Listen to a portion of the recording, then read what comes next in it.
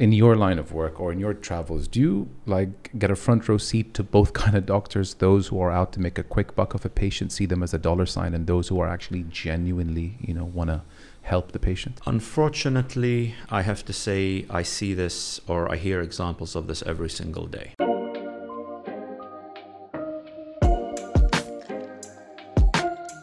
Bismillah ar-Rahman rahim Welcome to the Mo Show podcast, episode 29, repping the Mo Show merchandise for the first time.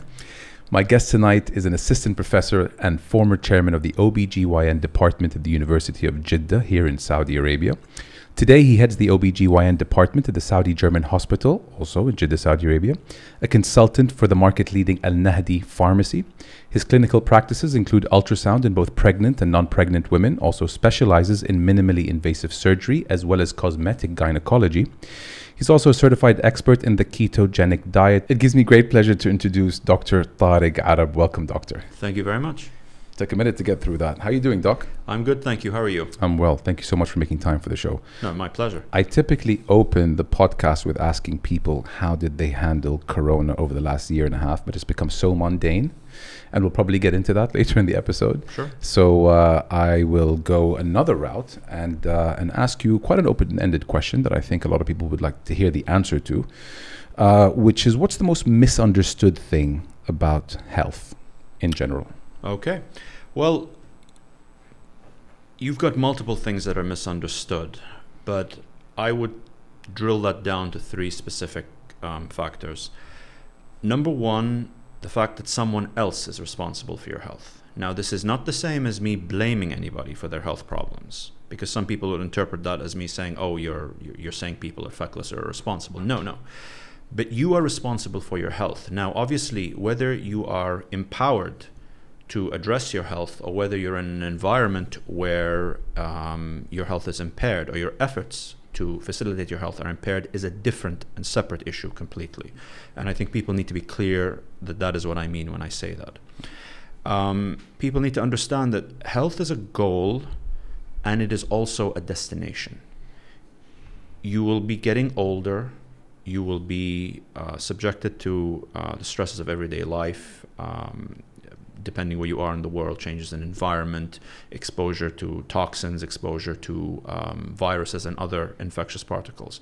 So th- the issue is that you should look at health as a continuous project where you're continuously refining what you're doing, changing your goals, meeting your goals, not meeting your goals, and attempting to um, blaze a path that is self sustaining, but which also gives you the results that you want. Most important thing people need to realize, though, is that um, you cannot judge health by appearance. Okay, and I'll give you a typical example of this. Um, a major health epidemic in the world now is type 2 diabetes. If you look at um, type 2 diabetics in many Western countries, 55% of them are morbidly obese. So some would derive the idea that, oh, you look at an obese patient or person, I can judge that they're in bad health. But that isn't the case. Because in other parts of the world, for example, the Far East, the majority of the diabetics are not fat.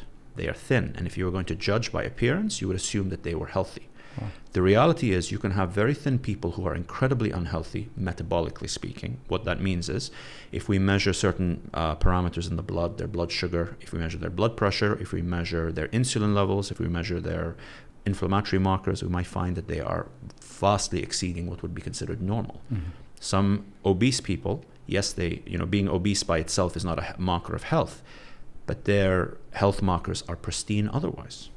So people need to understand that um, health is you know both under the the bonnet if we're going to use a car metaphor but it's also external too but you cannot break it down into one versus the other they have to go together mm-hmm. and very often if you are attempting to make changes to your health you will see the changes um, below the hood sometimes a long time before you'll see them outside. So if say you were morbidly obese and, high, and you've got high blood pressure and you've got blood sugar issues you may spend months or even a year fixing the issues that nobody else can see and you might still appear obese from the outside. So to you i failed you know i, I haven't got healthier. No you have got healthier because you've addressed the things that are going to stop what is on the outside changing. Mm-hmm. uh, in the, you know in the absence of, of, of, of, any change internally. So Yeah. that is what people need to understand. It's a journey. It's crazy. It's often misconstrued. You know, the the the overweight people have problems. Thin people are healthy, and now you're saying it's reciprocal. You know, the the, the heavy could uh, be healthier than than those who appear to be in shape. Exactly. Um, that's wow. That's um, that's news to me. You know. Um, there you go. Ten seconds in, and I learned my first thing.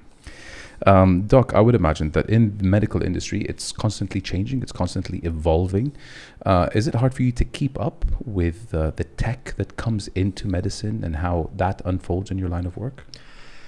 Well, while it's true that we live in a time of uh, an explosion in terms of um, medical information, in terms of options, management options, whether we're talking drugs, whether we're talking um, surgical intervention, whether we're talking the advent of technology into the workplace, the reality is that there is a lot of noise in medicine that is not always driven uh, with patients in mind. Remember, there is a lot of um, interference in the delivery of, of medical care.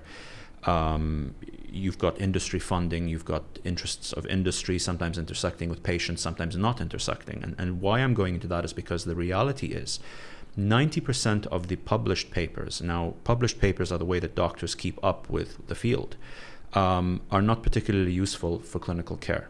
And the challenge we have is identifying the 10% that will either change practice or add to our knowledge.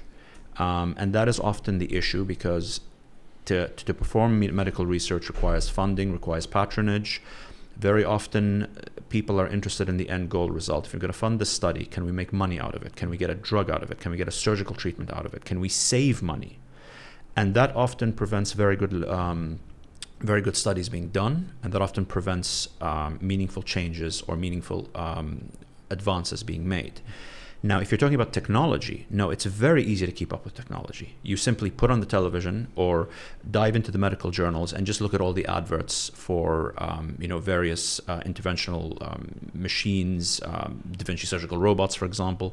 Um, you can go on YouTube. You can see all the, you know, very expensive, uh, beautiful videos that are being produced that are advertising new technology, and it's always very um, seductive to think, oh, if something is new, it must necessarily be better but that is where you have the interplay and, and, and that is why it can sometimes be frustrating for patients that you know what you know I, I went to a hospital abroad i saw this amazing monitor and you know they operated on me i was out in half an hour why don't you guys have that here now?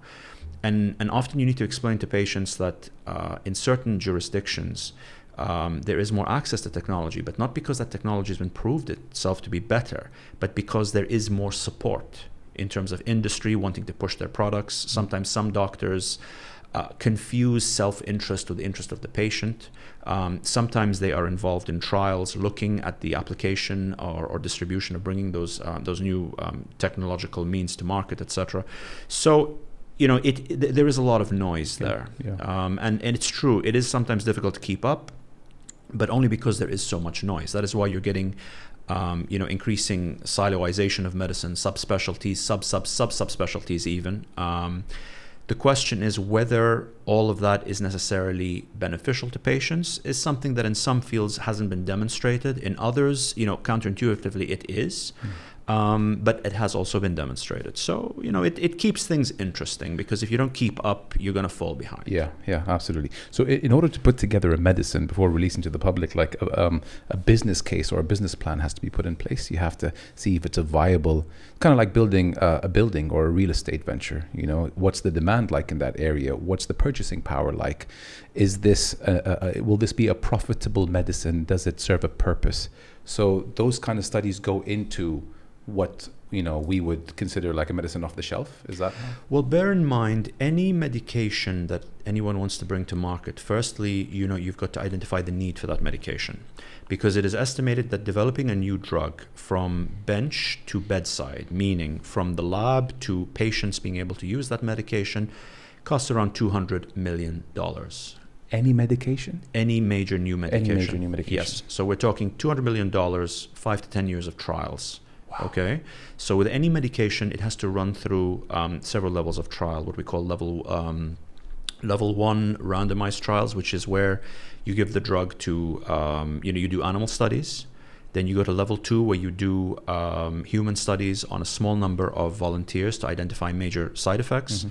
You go to level three, which is going to be a much larger trial looking at a lot more human volunteers. Then you enter what's called the post-marketing phase, where you monitor, um, you know, the drug in terms of side effects, uh, unexpected complications, etc. After it's passed all those steps, the information generated is then submitted to uh, the major regulators like the, the FDA, in the US, and then they make a judgment based on that. Okay. Now, if you're talking about medications that are sufficiently similar to drugs already in existence, the process is much, much faster. Yeah. And the same goes for surgical equipment. Okay. Um, so once you've got the approval, then yes, I'm sure you have to go into the whole Mhm. marketing, making the drug available. Remember, doctors do not embrace change; they're very resistant to Mm. it. And then you and then enter the second stage where you need to market it to the doctors, to the hospitals, sometimes explaining why your more expensive drug may actually be better than older drugs. Obviously, pharmaceutical companies have their bottom line as one of their interests. So if you're talking about them trying to introduce a brand new expensive drug when an existing cheap drug that is now out of patent, meaning any company can make it, is available, that's when conflicts of interest can come to light, and that's where life gets very easy. Yeah. As certain drug companies, who shall remain nameless, found out in 2010 Mhm. when they were caught lying to the public. And I Mhm. would suggest anybody wanting to know who they are, just put it in on Google and enjoy the read. A few things. Uh, I have an off-piece question, and then one uh, that was going to follow up the one that I just uh, put forward. Um, the off-piece question. I heard you say uh, animal testing. We're in 2021. Is is is there a way around? Is there a tech out there that allows us to find out whether a medicine will work on humans, going on going via non-animal testing? To be honest, you're now asking me about something that I have very little Very knowledge little. in. The, the the issue though is, I mean, it is a very valid argument that animals will not always respond the way humans will, and you can't always predict a human response based on an animal response. One of the most infamous examples of this is a drug called thalidomide. This was a drug given to pregnant women in the 70s for uh, morning sickness. Animal studies suggested it was beautifully safe. And then the babies started being born without arms and legs. God. And then we realized, oh, there's a problem, huge recall, a lot of babies were harmed. So the argument with animal studies is that the animal studies allow you to titrate dose to predict the um, theoretical effects in human beings. It gives you a basis upon which to propose to then do human trials. Mm. Now, obviously, you, you come down to the whole ethics of the issue, and you know that I think is, is, is slightly you know a larger subject and can be given any weight in a few minutes. Um, but I would say that at this moment in time, you know, barring the use of genetic engineering to produce what are called chimeras. A chimera is an animal um, with multiple cell lines, um, sometimes from multiple species. You know, the stuff of science fiction, basically. Unless we can do that, um, we are always going to be limited in in the idea that we're going to have to experiment on animals before we experiment on Yeah. people. Yeah. Uh, until human society says, you know what? No, let's experiment on people. But then we're going back to the days of the Nazis, Yeah, and yeah. I think we all agree nobody wants to go back to those days. Huh. Um, I, I, I, I no, definitely not. I can't, uh, I can't help, but, uh, but, but, but, but feel that there are some doctors out there, and, for, and forgive the way I feel. Maybe I watch too many movies that are out to make a quick buck. Um, it's a business uh, before a concern over the health of the patient. In your line of work or in your travels, do you like get a front row seat to both kind of doctors? Those who are out to make a quick buck of a patient, see them as a dollar sign, and those who are actually genuinely, you know, want to help the patient. Unfortunately, I have to say I see this or I hear examples of this every single day. Um, I'm not somebody who is not generous towards other people's motives, and I also know that sometimes you know patients are going to come to me and relay their experiences.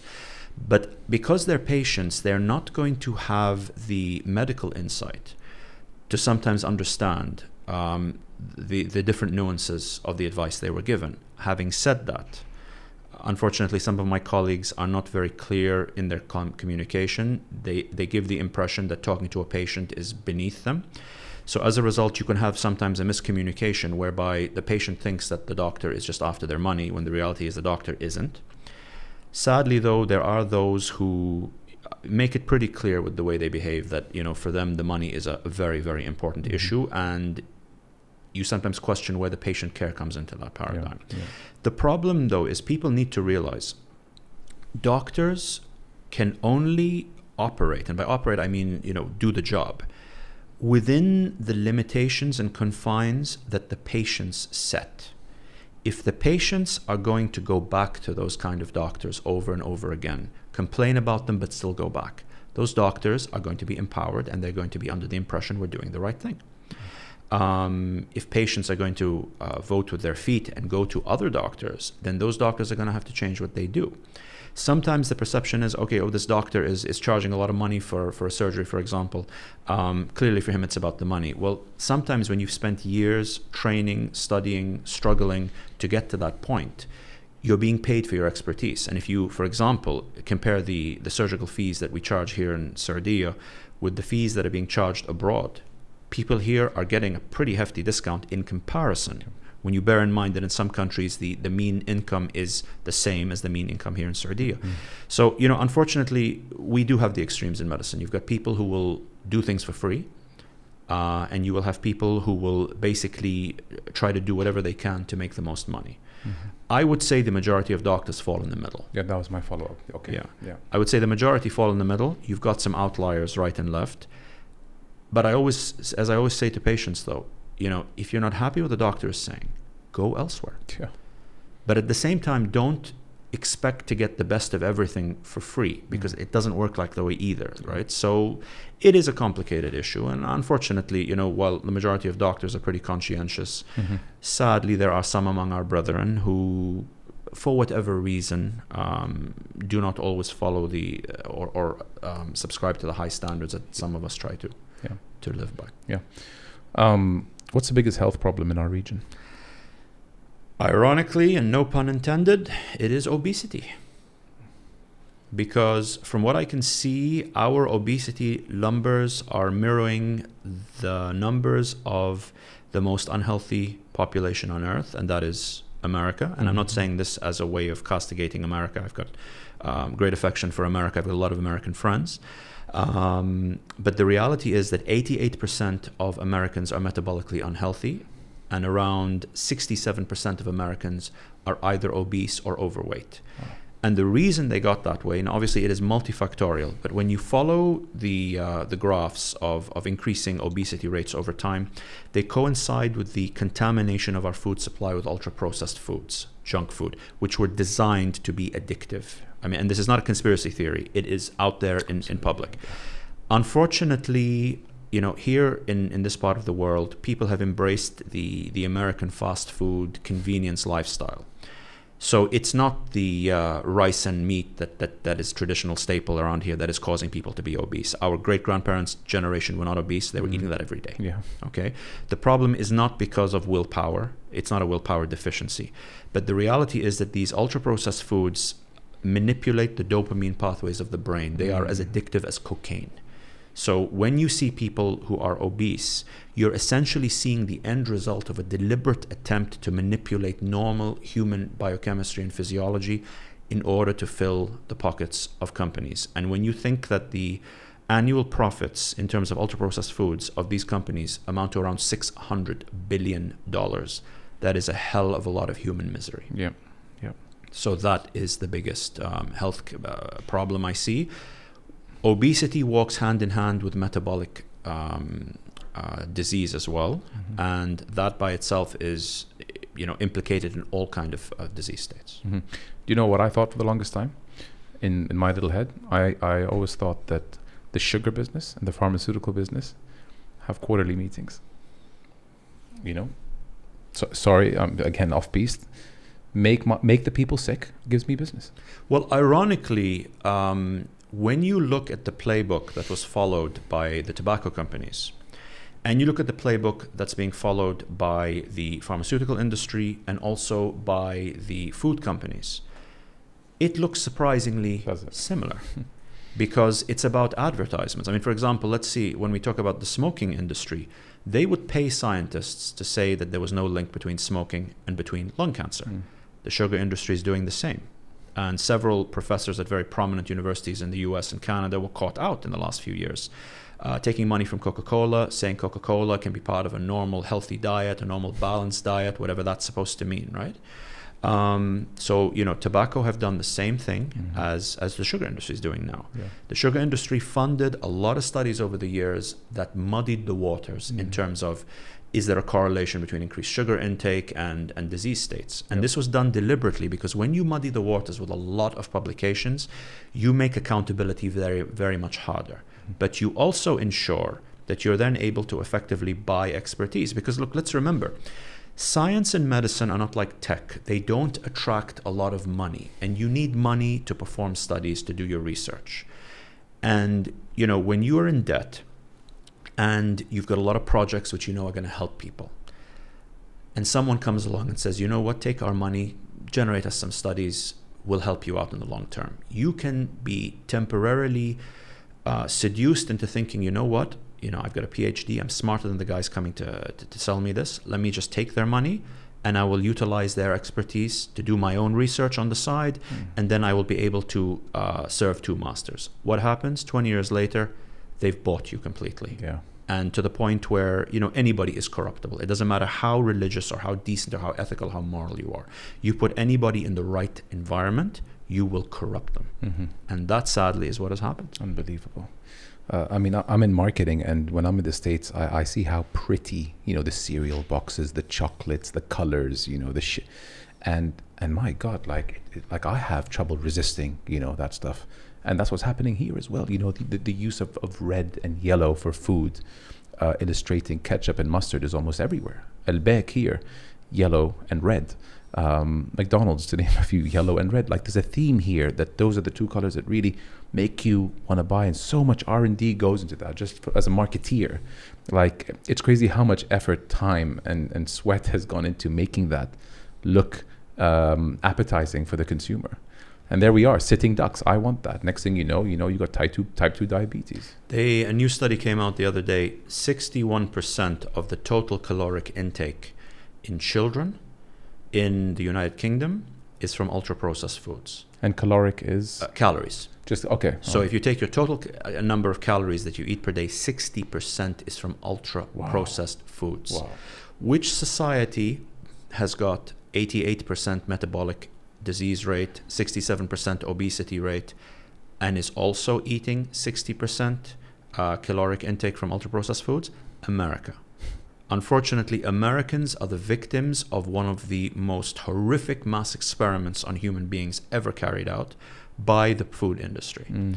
and what they're experiencing in terms of ill health is not because they're a nation of, of people with no willpower. No, they're a nation of people where cheap, addictive food Yeah. has become so staple, and unfortunately, it is always the poor that suffer the most Yeah. because you know you're a single mother, five kids living in the projects. You need to feed these kids. Yeah, cheaply. Ten dollars is going to buy you a ton of ultra processed Yeah. food. It's not you're not a bad mother Yeah. you're a good mother trying to feed your kids under difficult situation. This is why if you notice obesity rates among the rich, among the affluent, among the middle classes are significantly lower Lower. Than among the poorer classes. Absolutely, And this is not an accident. Yeah, it's an inner city thing. You you see it. I mean, um, yeah, it's off. I mean, what's ten dollars going to do to you in a supermarket? You know, not probably not that much. Well, exactly. But you also remember uh, the reason ultra processed foods are so cheap is because the the main ingredients in them, corn and alt and high fructose corn syrup, Yeah, are subsidized by the government. Governments all over the world subsidize their farmers to produce these things.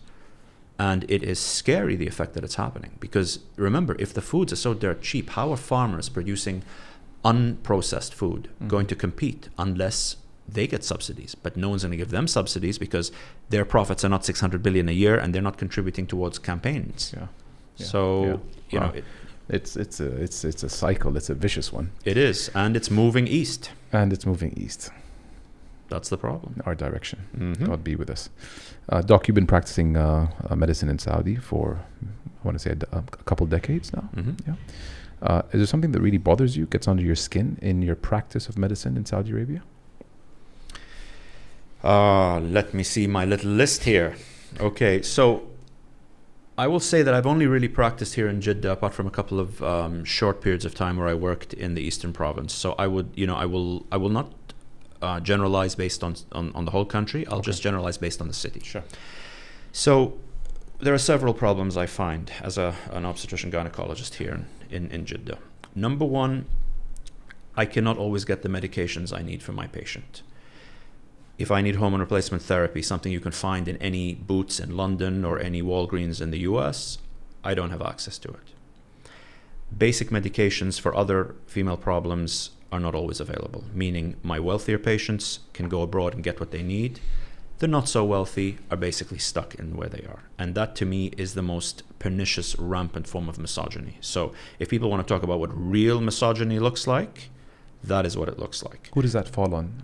ال- um, هيئة الدواء وال This, this, this, I believe, is it's a function of the, the Ministry of Health, uh, the, the portion of the Ministry of Health that is addressing um, pharmaceuticals in the country. Okay. I do know that their job is complicated by the fact that you know some of the medications not being um, you know on patent there are going to be issues with supply etc but I just really think that if they were to spend a little bit more time ensuring medication provision for women and maybe a little less running around trying to find all the doctors you know who are trying to work and and, and, and, and, and, deliver good patient Yeah. care then perhaps there would be a little bit more progress in that direction maybe more women in their R and D department. Is there, is that could that be an underlying issue? Quite possibly. Quite possibly that would be um, that would make a huge difference Mm. because remember the most well-meaning man will never understand the uh, the iniquities and the hardship that the average woman faces on a daily basis. Absolutely. So I would probably agree with you. Yes, definitely. They would probably need an injection of women into that area. Um, I was brought up by a single mother. I see men and women as equal. Women are not owned by anybody, and I'm in a place where at times I have husbands who behave as though they own the woman in front of them. Um, it's why I take a pernicious delight in literally ignoring some of the husbands when they come to the clinic. Um, problem we have here in the country is we have a lot of very good laws, but they're ignored. Um, you know, as, as Shakespeare put it, they are more honored in the breach than in the observance. So, for example, if I need to consent a patient for surgery, we still have men saying, no, no, I will consent. When I say no, the Ministry of Health says, you don't have the right the uh, you know the the, med- the people around me, the doctors, the nurses, etc., are all following the old way of no, the husband has to consent. This can sometimes slow down life-saving uh, treatment being given. So this is something I find particularly irritating. A lot of hospitals do not want to invest in the equipment that is needed for the delivery of optimal women's health. I'm an ultrasound spe- subspecialist. My job is limited by the machines you give me. If you don't give me the right machines, I cannot do the right uh, ultrasound. Now, the argument is always, oh, they're expensive. Okay, but any ultrasound machine is going to make you back your money in 3 months. So, what's the excuse? You know, same thing goes for surgical equipment. And it doesn't seem to matter whether the, the chief medical officer is a male or a female. There seems to be a problem here in, in the city. Um, hospitals don't always want to invest in the right staff. The salaries are not high enough to attract the good people. Guess who you're not going to attract Yeah. if the salaries are low, right? Patients. Yeah. Exactly. Um, if we look at it from the patient point of view, now, you know, I always try to do my best for any patient coming to me, but sometimes patients are complicit in their own oppression. Mm. If you keep going back to doctors who you're complaining about, as we discussed a few minutes ago, those doctors are going to be empowered. If you're going to keep complaining and, and writing formal complaints about every little thing that happens, giving you know not giving the benefit of the doubt to your doctors, not listening when they explain everything to you, not appreciating that uh, complication is not the same as negligence, you're going to drive the good doctors out of the country. And I know several who have left because of this. And guess what happens when that happens? The bad doctors are left. In the United States, people are suing 90% of the time not for money. They're suing because they want transparency. Here, it's probably the opposite. People are suing because they know a settlement will be made, because unfortunately, the medical legal system is biased against doctors. We have colleagues of ours who stand in judgment on us, and they do not give us the benefit of the doubt, no matter whether we've done everything um, that was required. Yeah. And you know, I myself was a victim of this, so I, I've seen it from the inside. Um, so you know we, we we do have these issues because when you work in an environment where you know if a complication happens uh, the patient is just going to sue immediately Mm. guess what happens next suboptimal patient care women, for I'll give you an example. There is a, a condition uh, called endometriosis that causes chronic pelvic pain in around 70% of the women who have chronic pain, and 40% of women with infertility have endometriosis. It can be a very nasty disease. One of the mainstays of treatment is radical surgery, and this is where we go into the abdomen and we free up uh, all uh, something called adhesions. This is where literally you have scar tissue putting organs together, creating pain. When you free up that scar tissue, there is a risk of injury to organs, injury that you can repair. Okay? If I know as a surgeon that I'm going to do my best, I'm going to spend hours in surgery that I may not even be paid for, okay? But whatever happens at the end, if a complication occurs, that patient is going to sue me and I'm going to end up at the health directorate and then I'm going to end up being fined and then I'm going to end up uh, going through the stress and, and, and, and, and, um, and the social opprobrium of that. You know what I'm going to do? I'm going to open that patient's abdomen, I'm going to take a look and I'm going to close and I'm going to say there's nothing I can do for you. Yeah. And all my colleagues will do the same and that woman will live in pain for the next 25 years. That isn't fair on her and it's not fair on the doctors. There is only so much a doctor can do until you have to start protecting yourself. And that, unfortunately, is a major problem now. We don't see it from that side, by the way, as patients. I know. This is the but but this is also the issue because you know I've had a lot of patients where I've sat down, I've explained everything in detail, I've answered all the questions. Mhm. Thank you very much. The next minute I know there's a there's a complaint. I have a a patient's uh, relative who wants to take me to court because I saved her life. The patient is happy. He's not happy with what I had to do to save her life. I'm waiting for the summons every day now. He wanted her dead? Well, unfortunately, it appeared he prized certain anatomical parts more than he prized the life of the person. And unfortunately, this is not an isolated incident because I can name you 15 of my colleagues who've had the same experience over the last couple of years. But let's just say that um, what I had to do was life affecting, Okay. definitely life altering, but it, it meant that this, pa- this, this patient lived to take care of her family Mhm. and has not been harmed from a health side from what I had to do. And what I had to do was textbook management of this condition in any book, in any journal, in any other jurisdiction in the Yeah. world. And it's a very strange place Yeah. where you save someone's life and you're totally transparent with the family, and the patient herself is happy, but someone else isn't. And you know that if they just get to the right person, there's going to be a complaint made against you, and nobody is going to listen to anything you have to say because you're the evil doctor, and that's the poor, innocent patient who is the victim of your malfeasance. And that essentially is the environment that we work in. So, no, it is, it is very challenging, um, but it is what it is. Wow, doc, that's that's. Um, thanks for sharing that. That was some heavy stuff. But but thank you know because us as patients we don't see the other side of the coin, and um, and you know we come with our frustrations. But you know guess what? Doctors have their own as well. So thanks for you know shedding some light on that. Um, let's move on. Um, when we were on the phone a few days ago, you uh, you mentioned you gave me a bullet point, and you're like, Mo, you know, let's discuss this. So I want you, if you could talk a little bit about um, what you said uh, regarding the silent epidemic of insulin resistance and how it's involved in multiple common health issues Okay. globally, I guess, not just in Saudi. Perfect. So, firstly, before we talk about insulin resistance, let's sort of get a broad idea of what it is. Because I don't want anyone ever listening to something I say thinking, no, I can't ask him to clarify what's going on. So, insulin resistance. What is insulin? Insulin is a hormone in our bodies that is responsible for um, controlling our blood sugar. It's responsible for um, stimulating the synthesis, meaning the building of protein in the body. Protein is responsible for the cells of your body, your muscles of your body, hormones, and other things. Insulin is also uh, involved in the inflammatory state of the body as well. So, insulin is an incredible organ, okay, to the point where um, bodybuilders, professional bodybuilders, are actually using insulin injections in order to get bigger. So, insulin is a, is a damn impressive um, uh, uh, hormone. How does insulin work in the body? It works in something called receptors. So the insulin will approach your cell, uh, it will attach to a receptor on the cell, and that will then mediate the changes within the cell. Now, with insulin resistance, the cells cannot respond to the insulin in the body. What is the end result? The body, through the pancreas, cranks up the amount of insulin. Okay? In order to overcome that resistance. And then essentially what happens at the end point, and I'm oversimplifying this as well, you know, to a huge extent, um, is that the body can no longer respond to that insulin, which is why you then end up with the end result of type 2 diabetes. However, as the insulin is going up, you're causing inflammatory uh, infl- inflammation in the body. And a recent study came out looking at um, what are the biggest risk factors for heart disease. Insulin resistance was right at the top, above cholesterol, Wow. above high blood pressure, above diabetes by itself. Okay, so it is a silent epidemic because they estimate 88% of the American population is insulin resistant. Now, insulin resistance is a is a, um, a spectrum.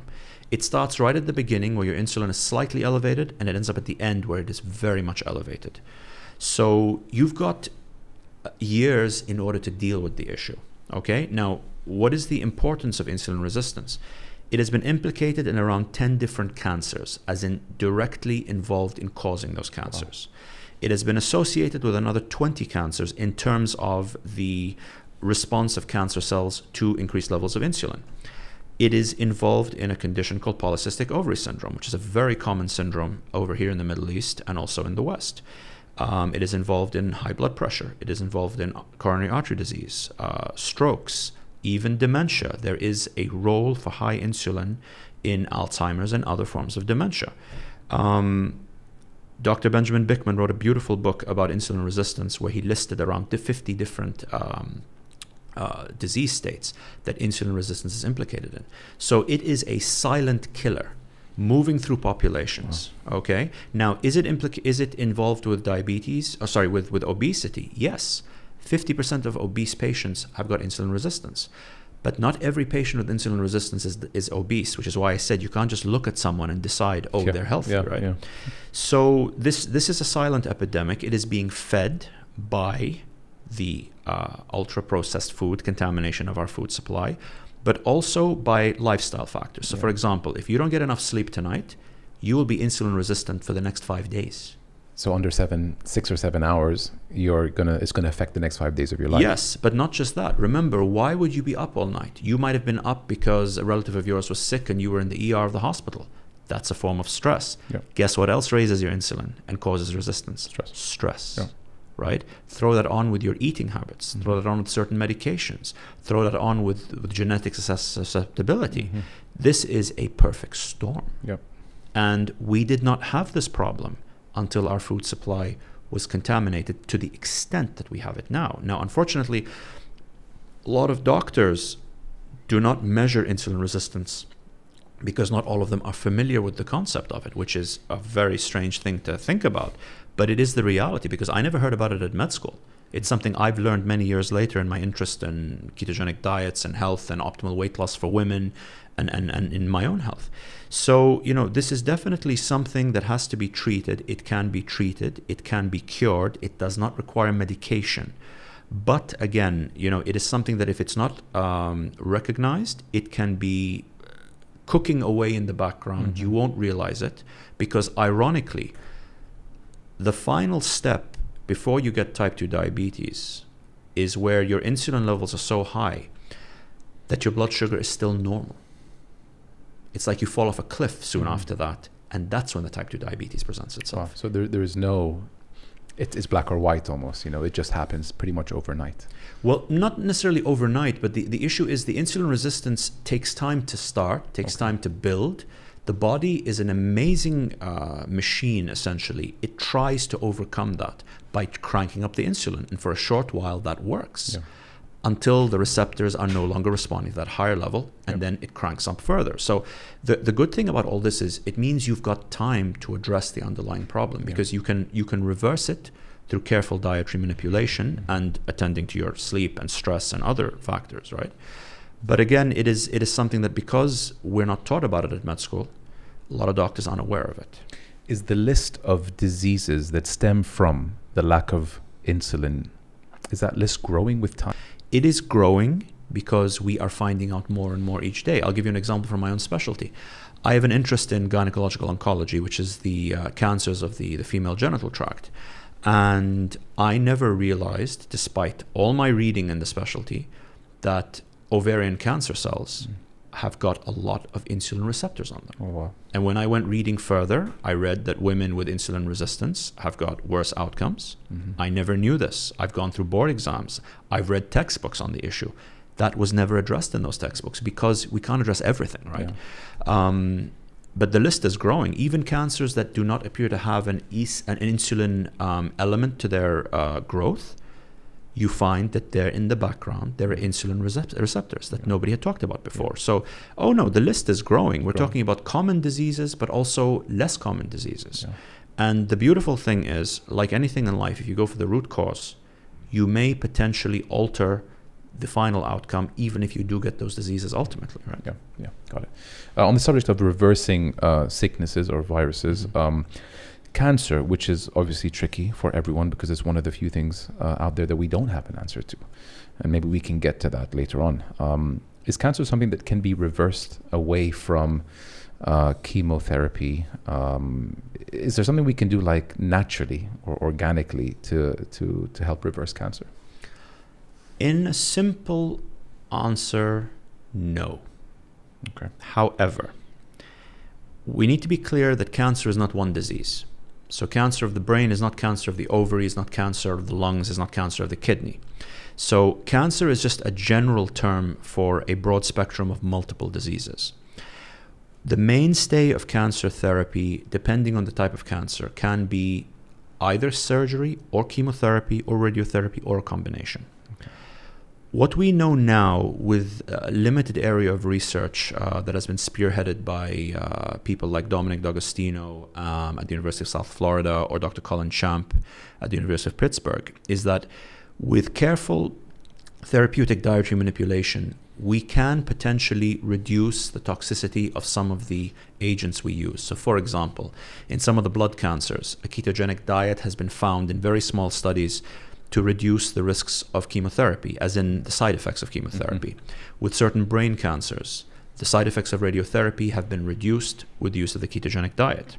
We know in the breast cancer literature, uh, when they looked at follow up and long term longevity in some breast cancer populations, they found that patients who were eating a lower carbohydrate diet, not a ketogenic diet, but just a lower amount of carbs, for some reason had less recurrence than patients that were eating a regular diet. So, what I want people to understand is I'm not suggesting that diet will ever cure cancer. Mhm. I'm not suggesting diet will prevent cancer. What I'm saying is that when a patient is uh, sadly diagnosed with cancer, there may, in some cases, be a role for dietary manipulation as an aid to what's going on. Because if a patient can handle the complications of a treatment, they can tolerate the treatment better, meaning they can stay the course. Because some cancer treatments are very toxic and patients cannot handle the treatment and they have to stop the treatment. So, you know, there is a lot of uh, research going on there, but I would just recommend any patient, you know, please, whoever you go to for your cancer, always make sure that you are receiving the treatment that has got the most evidence to back it up. Mhm. Chemotherapy, radiotherapy, when you think about them, are barbaric. But we've got a hundred years of literature, studies to back up what we're doing. And, you know, it's a less than perfect solution, but it is the most scientific solution. And through science is where uh, the path lies in, uh, you know, in addressing cancer without us saying, of course, that we shouldn't look at the, uh, the rest. Because, for example, there are some forms of gynecological cancer where if they're caught early, surgery alone is, is, is sufficient.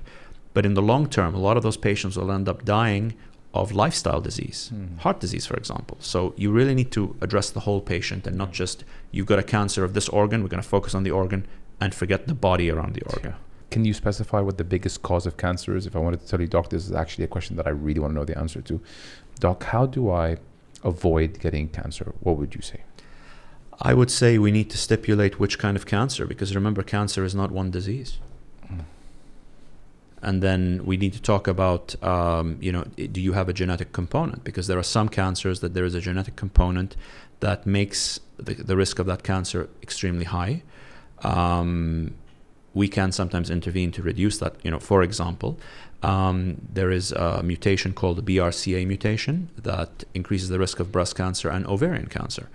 If a woman comes to me with a BRCA1 mutation and I remove her ovaries at the appropriate time, I've reduced her risk of ovarian cancer by 80%. Wow.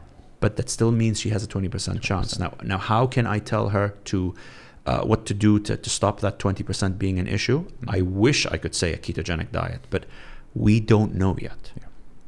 So, you know, they estimate one in one in 5 to one in 6 people will be diagnosed with cancer. The incidence of cancer has gone up over the years. You wonder whether there is an element of insulin resistance playing a role here, but Mhm. like I said, cancer is multifactorial. You know, you can see perfectly healthy people who get cancer, Yeah. perfectly unhealthy people who don't get cancer. So it, it is a very complex area. of Sounds. Do more people recover from cancer or fall victim to it? Again, uh, it depends which cancer we're talking about because there are some cancers where if you catch them late Mm. and you treat them, patient makes a full recovery. Ironically enough. Oh, when you catch it late. some cancers, yes, there are some cancers if you catch them late, most patients are not going to survive. There are others where if you catch them early, you treat them, patient may never have a recurrence, Mm. or it might be a particular form of cancer where a recurrence is inevitable Yeah. even if you catch it early. So you just can't generalize, to be honest. But I mean, with the advances we've made in, in chemotherapy, radiotherapy, new group of medications now called biologics, and the the incredible amount of research that we're doing in the field, you know, it has probably never been a better time to have cancer because we've just got so many options now. Yeah. Um, but again, like I said, it's it all comes down to the kind of cancer Kind of because cancer, you've got some cancers where we've made no strides over the last 50 years. We still don't know why this cancer turns up late, and because we can't pick it up early, by the time we know it's there, it's too late. Too late. Yeah. Uh, you mentioned keto diet. I know you're big on that. Um, I've got a body mass index of maybe just over 20. Um, would it be something that I should look into? Would it help me? Well, it all depends on what your health issues are. Mm. because you know again let's let's say for argument's sake your your body mass index is 20 but it doesn't tell me anything about what's happening under the hood so for all i know i might draw your insulin now and find your insulin is elevated because you're healthy but things are happening under the hood that you're not aware of so in that case the question would then be all right would you benefit from a ketogenic diet i mean we need to remember you know what is a ketogenic diet people misunderstand it. Ketogenic diets are not about eating massive amounts of fat to the exclusion of most other things. A ketogenic diet is about what we call therapeutic carbohydrate restriction. It can range from zero carbs to 150 carbs, depending on your physical activity, depending on what your, your, your health goals are. It's not a cure for everything. Not everybody does well on a ketogenic diet. Not everybody needs a ketogenic diet because ketogenic diet is usually where you're talking about, uh, in most people, not going above 40 to 50 grams of carbs a day. For some people, that is over restrictive. They can't sustain that. The ketogenic diet is, is a therapeutic intervention. People think it's a diet. It is not a diet, quote unquote. We need to go back to the history of it. When did it start? To treat epilepsy in children. Okay, until we had the drugs, uh, the anti epileptic drugs from the 50s and 60s onwards, this was the only thing we had to be able to control seizures in children. It's incredibly effective for them but it is also very difficult on the families and that is why the drugs came in and took over so you know that is where the ketogenic diet started but it has multiple um, uses in other populations. For example you know patients who are uh, high blood pressure even diabetics people who have got insulin resistance women with polycystic ovary syndrome some people who are addicted to carbohydrates. And this is also you know a, a problem of today's world. People you know misunderstand that it's not that they have a, a willpower problem. They're addicted to carbs and not any carbs because remember carbohydrates can be refined or unrefined the kind that we are in danger from are the refined carbohydrates. So it, to answer your specific question i mean only only you would be able to know if the ketogenic diet would help you based on your own medical history. And that's why I always, I always say to people um, don't try to do it yourself because it needs supervision careful supervision. It's what i tell my patients. You can't just come to me and i sit with you for an hour tell you what to eat you go away. You got to come back. I need to measure your body fat. I need to talk to you about your satiety meaning your ability to eat and be full. I need to talk to you about the problems you have making it um, uh, sustainable for you. Mhm. what issues are you having societally wise? Is your family supportive?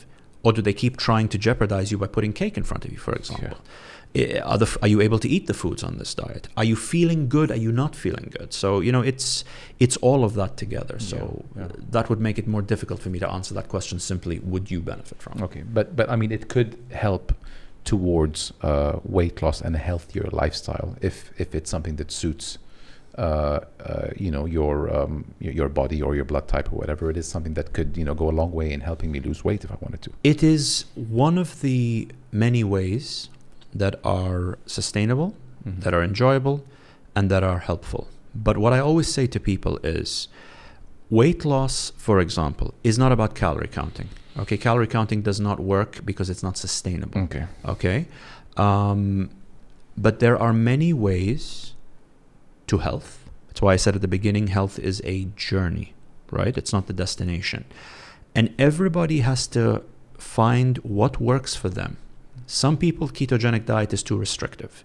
For them, I would say no, let's go low carb. What's the difference? You're keeping carbohydrates below 150 grams a day.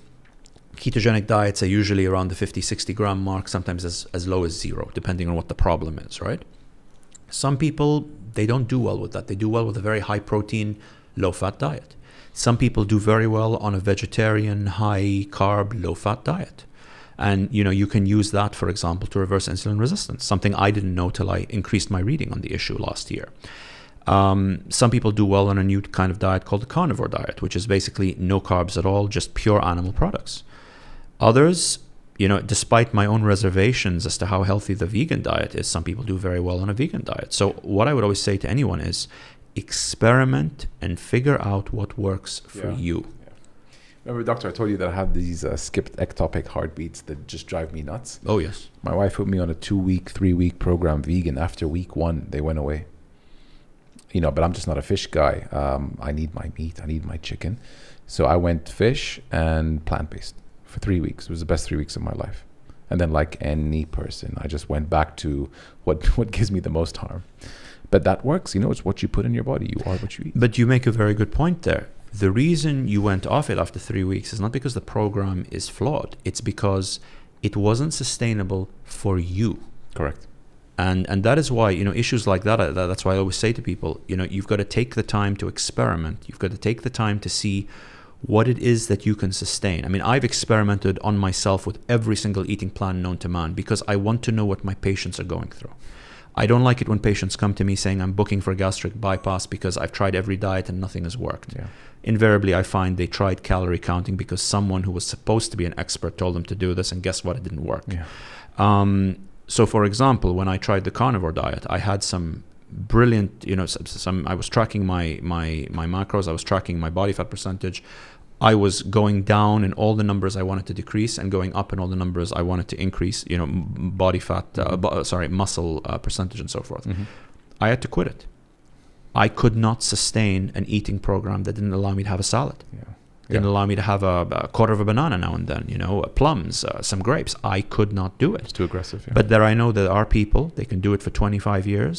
They are the picture of health and they don't feel that they're um, missing anything. So, again, everybody is biochemically unique. You got to know what works for you. Yeah, absolutely. Um, doc, by trade, or like you know, one one of the most things you are known for medically is a gynecologist. You're a gynecologist here in Saudi Arabia. Um, I would assume there's some challenges being such in our country. Do you face any? You know, apart from the, the challenges that I mentioned, um, you know, before, and when, when you were asking me about uh, challenges of working here in the kingdom, um, you know, occasionally you, you do, as a male, of course, um, you have to pick up the pieces of someone else's mistakes. So I have patients coming to me who've been traumatized by another doctor, sometimes a male, sometimes a female, and I'm the one that has to pick up those pieces, and it can be difficult. Um, because, for example, if they were examined and they were hurt, they are going to be traumatized, and you have to work through that. And that takes a lot of patience and it takes a lot of understanding on the part of, of the patient. Sometimes, as I said, you know, I, I have patients coming to me where the husband is behaving as though his wife is his, his personal um, object to possess.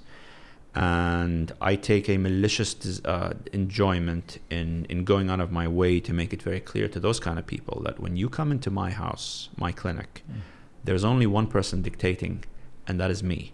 And what I say is the only person that's going to say anything here is the patient herself. And she's not going to be silenced, she's Mhm. not going to be spoken over, and she's not going to be spoken down to by I anybody. love it. And, uh, you know, some of the husbands like this. Some of them don't like it. Unfortunately, you got to find someone who cares because I don't if you don't like it. sometimes, um, and I understand this from from a patient perspective, you know, it can be very embarrassing coming to a gynecologist. As part of my job, I need to examine them. Um, and you know, I'm looking at it from her point of view. I'm coming to a doctor, a man, for the first time. You know, first few minutes he's asked me some very intimate questions. Next few minutes he wants to examine me. You know what I mean? This is too embarrassing for me. So I get that. And and one thing that a lot of my patients don't realize is I'm probably as embarrassed as they are when it comes to examining them. It's it's not just oh it's ordinary for me. I've done this for years. No no no. I still get very nervous having to examine a patient because I know how embarrassing it is for them. So that doesn't help because when a patient sees you sort of a little nervous or on edge, they will justifiably get the wrong idea that oh what's wrong with him? He's not confident. So then you have to affect an air of nonchalance over that air of um, um, nervousness, Yeah. which which can be a bit of an issue. Absolutely. Um, but you know, like like I said, yeah, it, it basically goes back to the the issues we discussed before. You know, uh, the environment isn't the most helpful environment to doing the job, and sometimes it can be very frustrating when you're trying to do the best for a patient and you're frustrated because the equipment you need isn't there, the test you need isn't there. The confidentiality around the test may not be there. For example, I've had patients come to me where they wanted to be tested for, for sexually transmitted diseases because they'd been exposed. Now, I remember having to send them away to another lab so that there would be no danger that somebody in the same clinic would recognize the name and then, you know, connect two things together. Now, that shouldn't be something that I have to deal with, but it is a sad reality that confidentiality isn't necessarily the the biggest thing that we we have as a strength here. Um, other things, again, it's you know I, I believe in, in in confidentiality. So sometimes, for example, when I'm at the hospital, come out of the OR, come out of a delivery room, you find the entire family there waiting for you. Now, I like that about our culture because it really shows love and concern. What I don't like is everyone thinking they have the right to hear the details of the patient's condition. And that's why I'm not very popular with families, especially at delivery time, because I make it very clear. I speak to the patient. Yeah. I'll speak to the husband if she gives me permission, but I'm not entertaining anyone else with details. And if anyone wants to ask anything, they do it in front of her. Mhm. So you know, obviously, this this this goes against the grain for, for people, but it is who it is what it is when it comes to me. But you know, other other than that, I mean, with all the challenges, it's still very rewarding Yeah. because you know, when a patient says thank you, that's worth its weight in gold. Yeah, may, makes your Exactly, it it makes the struggle worthwhile. Um, because there's a lot of struggle sometimes. Yeah. Doc. You operate in a very Western way or manner. Have you done some time there? Is that where you uh, studied? I was born and brought up in London. Okay. Um, I was there till I was 19. I applied to med school here because I didn't get in there the first time, and by some miracle, I got in here. And then I thought, okay, I got into med school. You know, I may not get in in London if I apply. Let me continue here. And you know, I came back home and I went through med school. Then I, uh, after three years of working here, I went to Canada, did my residency, my fellowship there.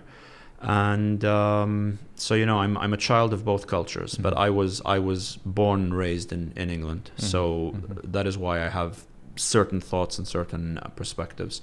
Obviously, being raised by a single mother means that you have an above average respect and regard for women because I've never seen a woman not be able to achieve what a man can achieve. So I, I really don't have time for um, benign misogyny Yeah, or entertaining that bullshit. Exactly. It's like you're a woman doesn't mean anything to me. Yeah. You're a person. Yeah. You know, I'm going to judge you by what you do, Yeah, not by the fact that you're a female.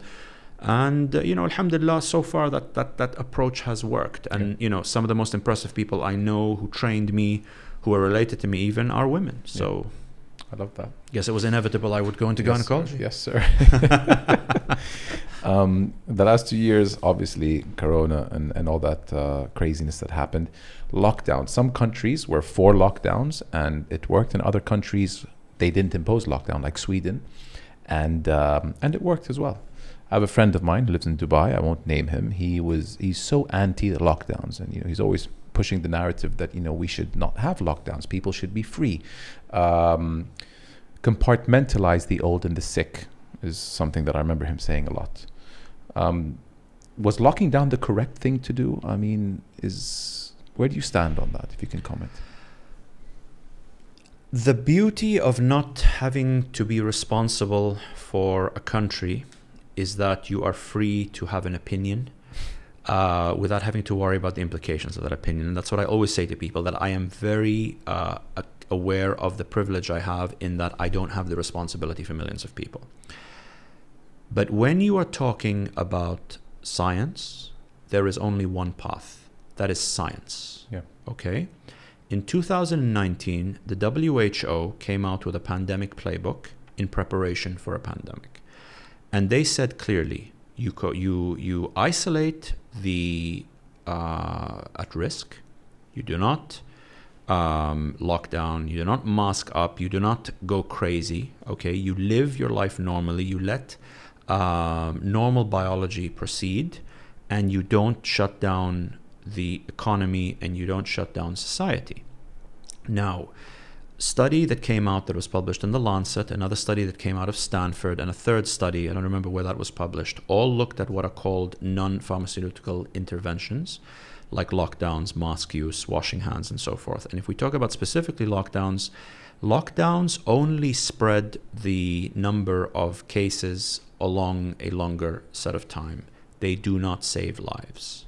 They cause more harms. It is estimated that this year alone, 200,000 women and children will die as a result of healthcare not being delivered because of lockdowns. In Southeast Asia, 600,000 children have died of starvation in the last year. In the United States, they estimate 250,000 are going to miss their cancer screenings, meaning that early cancers are not going to be caught early. We've had an explosion of mental health disorders in the West, especially among children. We've had education harmed. Um, and when you look at the countries that have locked down versus the ones that didn't, and as you said, Sweden was an outlier and acted as a control group. Sweden is currently number 22 in terms of the most deaths from COVID 19. So, you know, again, as someone who doesn't have responsibility for other people, has the luxury of that, I would say I follow the science. The WHO put the science there. Everyone signed up to it. Everybody just decided not to follow it for reasons, you know, that they know better than I do. But no, I definitely don't agree with the concept of a lockdown because, among other things, if you take the United Kingdom as a brilliant example, they essentially shut down parts of the healthcare. They like to deny it, but sadly for them, you know, we have a media that, that, that exposes uh, the facts that other people don't necessarily want to come to light. They shut down part of the health service. They built a cohort of obese people who didn't get their care, who were unable to exercise, unable to go out, unable to address their health. They built up a cohort of patients with heart disease, too scared to go to the hospital, patients with um, strokes, too scared to go to the hospital, cancer patients who were not treated or diagnosed. Guess what happened in January of this year? All those people tipped over like off a cliff, and admissions to hospital went through the roof. They built a cohort of sick people. Okay? And when you look at the majority of the people admitted to the ICUs in the UK, they were obese. Did you hear that on the news? No, you didn't. Where did I hear this? Their own documentation, which is available on Google. Mm. Okay, so no, I uh, I do not uh, you know I do not subscribe to the idea that lockdowns were were useful, and it's not my opinion. That is what the science says. If somebody doesn't like that opinion, well, you have to address the science because I didn't publish those papers. Yeah. I didn't go into the details. Um, you know, unfortunately, the, the the biggest international public health disaster of all time is unfolding in front of our eyes This is it, no? this is it and you know and this is not to say that covid-19 is not harmful it is harmful when people say oh it's just a flu i've got bad news for you the flu kills around half a million people annually globally per year The common. common flu all ages from babies to senior citizens the flu is not a benign problem Mhm. most of us get flu and we recover from it. We confuse the flu with a cold. The flu is a serious disease. Okay, um, COVID nineteen might have a survival rate of zero point, uh, sorry, uh, fatality rate of zero point zero five percent in the under seventies. Ninety nine point nine five percent of people who get COVID nineteen, yes, they make a recovery, but that doesn't mean that we don't mourn the loss of lives Mm. especially when you look at who died of this condition. The average age of death in the UK was 81. The average age in the US was 82. Now, I'm the opposite of a lot of people. I actually adore the older citizens. For me, th- uh, someone dying at 81 is the loss of 81 years of knowledge, of experience, of wisdom that society has lost. It's not, oh, we've lost somebody economically unproductive. No, I think economically unproductive are the teenagers or the ones in their 20s because they haven't contributed to society like that the older ones have. So even if the majority of people that died of COVID 19 had risk factors, for example, if you are diabetic or hypertensive, or you have metabolic disease, or you're obese, your risk of having a complicated course or being admitted to hospital or dying is around five to seven times greater than someone who doesn't have those comorbidities. That doesn't make your life any less meaningful. So, you know, while I do believe we have to protect the most vulnerable, we cannot use fear as a means of, of, of establishing um, a way of doing things that harms a lot of people. Because remember, we are estimating that the, uh, the body count from all the lockdowns from non COVID causes is going to exceed the loss from COVID causes. That- And that is a big problem. And especially if you look at how the deaths have been recorded in the US and the UK, there are question marks as to how many of those deaths were actually COVID deaths. So if we're saying now that the non COVID deaths are going to exceed the COVID deaths, we're talking about an inflated number, which means it's even more of a moral disaster than we've already taken credit for. Hmm. So, Limiting the access for those who couldn't get medical care due to COVID restrictions. well, exactly. that's I mean, profound. I have a relative of mine who almost missed their cancer surgery because of the cancer surgery shutdown. And then they had their surgery in a manner that was suboptimal for them because of their health factors, because of the fear of, of COVID 19 transmission in the OR. Yeah.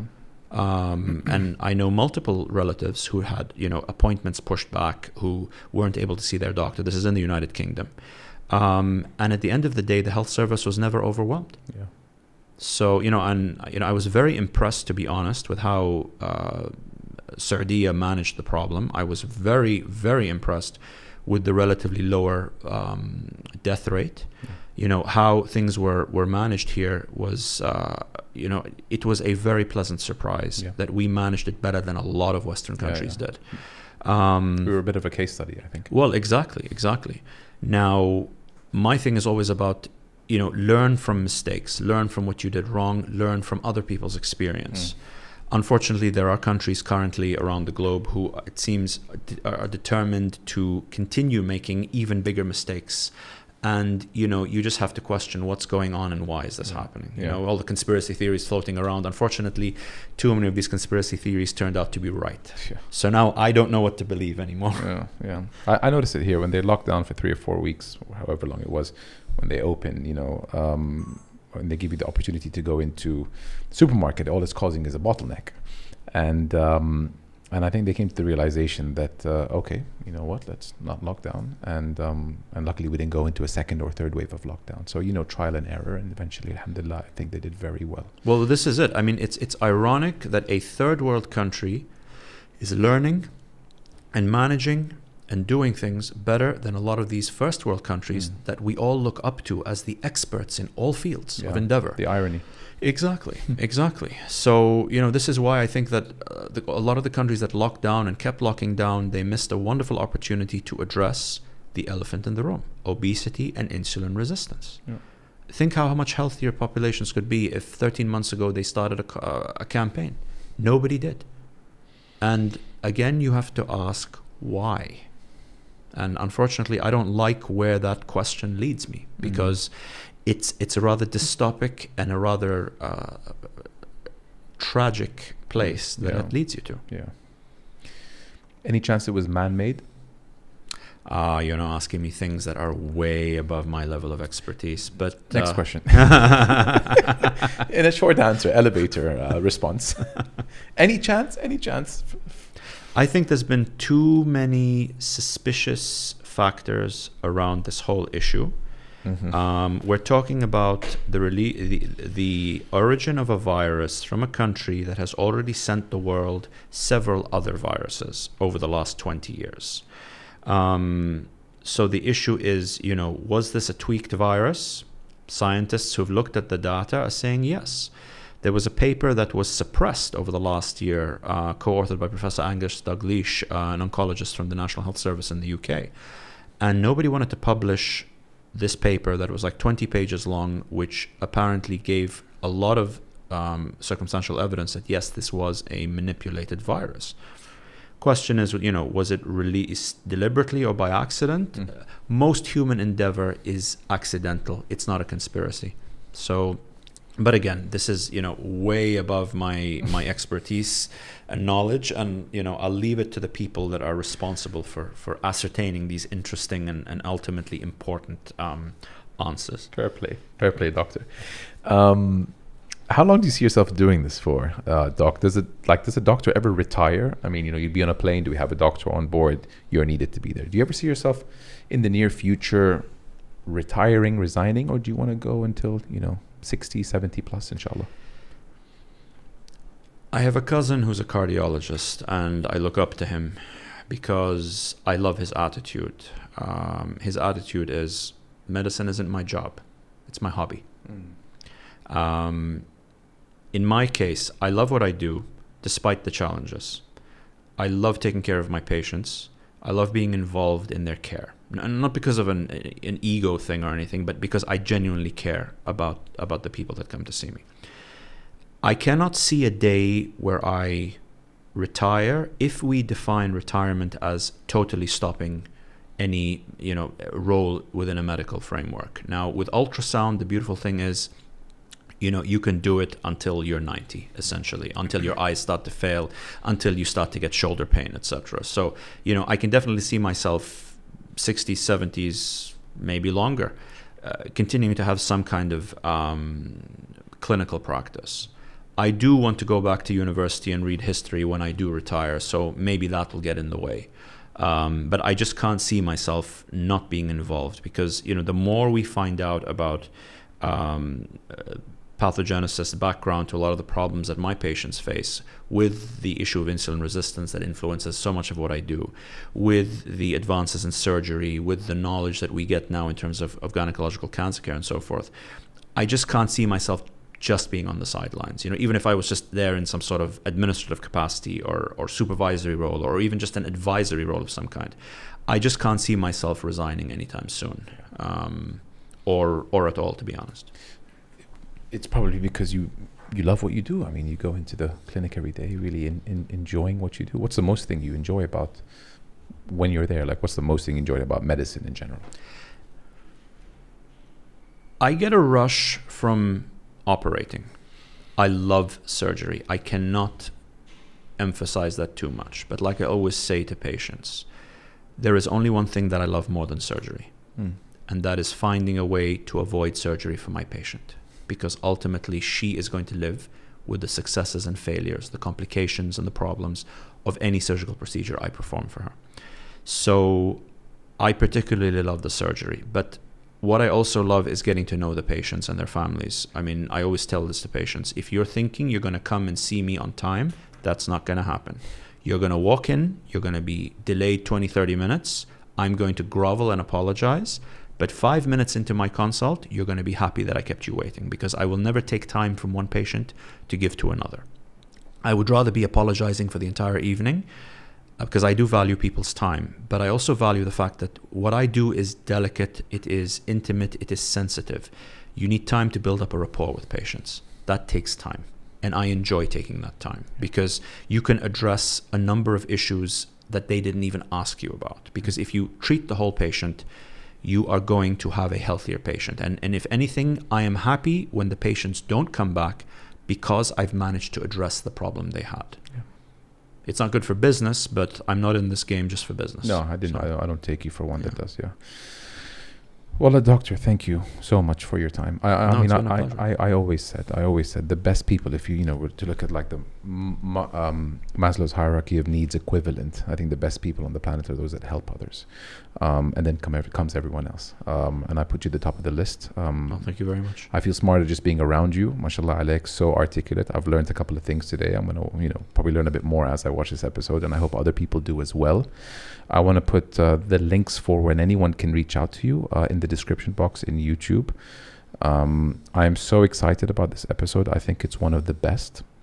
And thank you for taking over an hour from your time, doctor, to come out here and um, and share your stories with me. And if there's anything you want to put out there for people, any advice, you know, into living a healthier life, um, then then then please, um, if there's anything we missed out, please uh, do do share.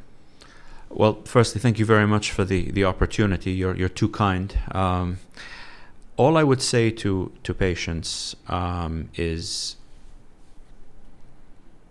do not sell yourself short and trust your instinct. If you feel that the doctor that you're talking to doesn't get you, doesn't understand the problem that you're facing, not necessarily from a medical point of view only, but also from a, a social point of view. If you find that your doctor doesn't seem to want to explain why they want to do things, if you find the doctor is impatient when you ask for clarification, then perhaps you need to find another doctor. Mm-hmm. It doesn't matter how successful that doctor is, how popular, how much of an expert they are, uh, or how brilliant they are. Every patient should be treated as though she's the only patient in the waiting room.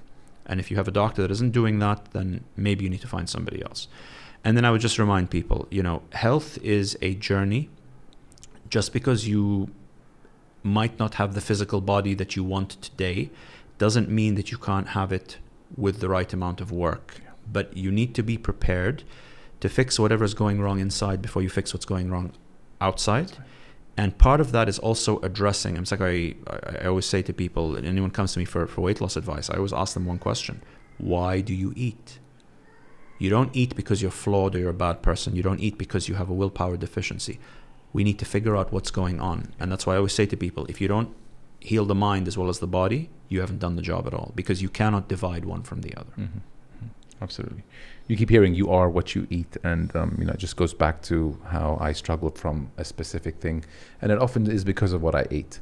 Um, and and and thank you for sharing that. You know, um, I think I think a health health goes a long way um, towards what did you put in your body, um, and it's something that I need to be more conscious of as well. You know, sometimes we're just so spur of the moment. I want this. Let me eat that, and then you live with the consequences later. Well, bear in mind we live in an environment where we can literally click our fingers and get hold of the cheapest junk available. That's a problem. And this is a problem because you know busy people um, people in a rush, people under pressure, people hungry are not going to make the right choices, not because there's something wrong with them, but because they're human. Yeah. And that is what fast food companies, um, processed food companies exploit. They don't just take advantage of it, they exploit it mercilessly. And, and that is a problem. Yeah, yeah. Thanks again, doctor, for your time, knowledge, and you just shared everything. You know, you just I, I, appreciate you not holding back and saying everything that's on your mind. I appreciate it so much. Oh, I held a lot back, believe me. Did you? this, is, this is holding back. okay, when can I come in for a consultation? I'd like to know more off the record.